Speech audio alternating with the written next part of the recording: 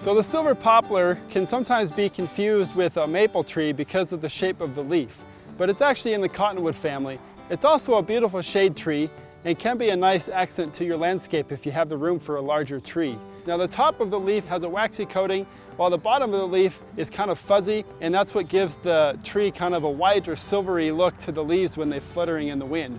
It is not native to Wyoming, it's actually native to the Iberian Peninsula, Spain and Portugal and down into Morocco, but has proven to be a successful tree in our area. If you can put up with the cotton, if it doesn't cause allergies for you, then you might want to consider it. Another thing to consider is it does put up a lot of suckers, as often cottonwood trees do. And so some areas do not allow it to be planted. So if you are considering planting it, be sure to check on local ordinances first.